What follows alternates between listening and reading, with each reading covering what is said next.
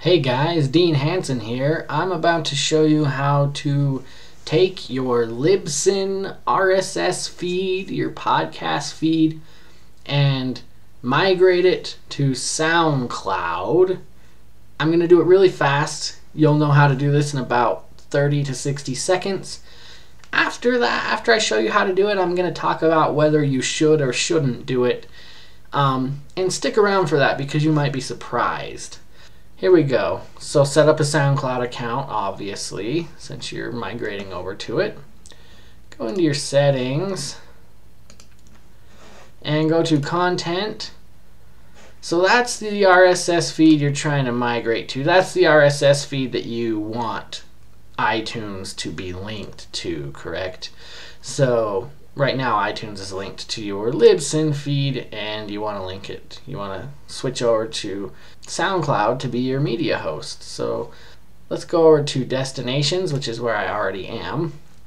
But you log in, go to destinations, hit edit on the Libsyn Classic feed. We're going to edit that feed. You may have renamed this, but just go to your RSS feed, edit it, go to advanced options down at the bottom down at the very bottom of advanced options, you'll see this extra RSS tags.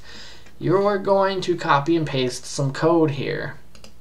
I will put this code in the description, or you can find this article. I'll put a link to the article as well, which walks you through everything I'm walking you through now, but it's kind of confusing, so I recommend this video. Copy and paste this code into the extra RSS tags section. The only thing you have to change is you don't want it to be http www.yourfeed.com. You're going to actually cut that out. That section that's obviously not real. And you're going to paste in your new SoundCloud RSS feed. Copy and paste.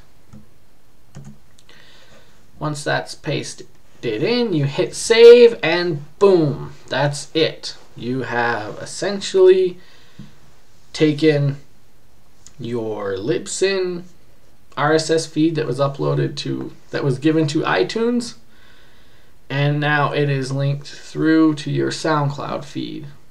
That's it, that's all there is to it. Now, stick around if you want me to talk more about it more in depth. If if you're wondering if it's a good idea, you might think it's a good idea and I'm going to tell you it's probably not because an hour ago at this time I thought it was a good idea too. And now I've changed my mind once I actually did it. Um, the reason I'm making this video is because I could not find a single video on YouTube that taught you how to do this. And I didn't find a lot of content that explains the major differences between Libsyn and SoundCloud, and there are some huge major differences that make Libsyn a better choice, in my opinion. So here we go. You've learned how to do it. I'm going to hit cancel because I did it today and I undid it because it was a bad idea. So with Libsyn for five bucks a month, that's their entry level plan. You get 50 megabytes of upload per month, which is really low, and you kind of have to dumb down the audio to fit more than about an hour of content per month on the website. And so I was pretty excited when SoundCloud started doing podcast hosting and uh, they're offering three hours instead of 50 megabytes. They're giving you three hours. And so you can actually do high quality audio and three hours. But here's the kicker they only give you three hours, period. That's all they give you, not every month.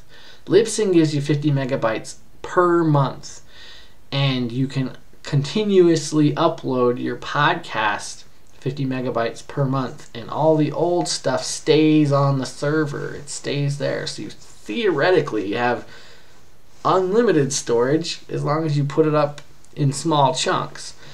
Whereas SoundCloud, once you hit three hours, you have to delete the older content, meaning you can only really have probably three to six episodes on your podcast at a time, and you have to start deleting older content, which I don't like that idea at all. If you're okay with that, if your podcast is a show that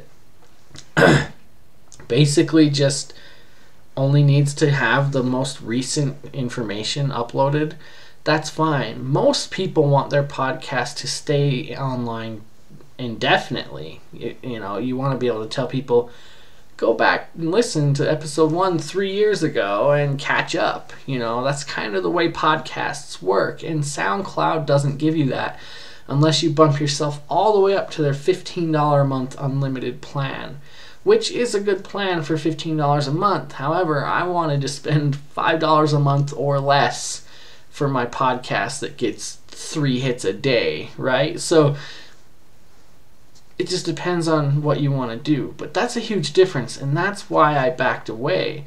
So let me get to another point.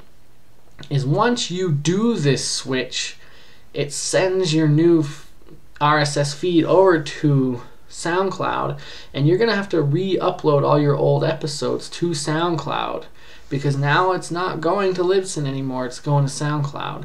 And you're going to have to redo everything. And as I was redoing, I have about 10 episodes of my podcast, Amateur Tech Talk, and I uploaded the first four episodes and I ran out of space right away. So not only was I not even able to put up my last 10 episodes, I couldn't even put up a new episode if I wanted to, and we're recording one tomorrow. So SoundCloud isn't going to work for me. It just isn't. And that's depressing because I was really excited once I found out that I could switch over, which isn't easy to just know how to find that code and insert it. I was so excited about two hours ago. I'm like, I'm switching over. I called my co-host and told him I got it figured out, and we're gonna switch over to SoundCloud. It's gonna work out great. We're gonna have three hours of audio every month. I thought every month because that's how other podcast hosts work, but nah, SoundCloud only gives you three hours period. So it's not a good idea to switch over for most people maybe you're only going to upload a few episodes and that's it, then yeah, SoundCloud's good. But if you're going to continue the show and you want people to have the ability to go back to older episodes, you have to choose Libsyn. I mean, there's prob. I mean, I know there's other sources too, but Libsyn's only five bucks a month, and as far as I know, there's not a free service. So that's that. I hope this video helped you guys, and uh, have fun podcasting to a sea of people who will never listen to us.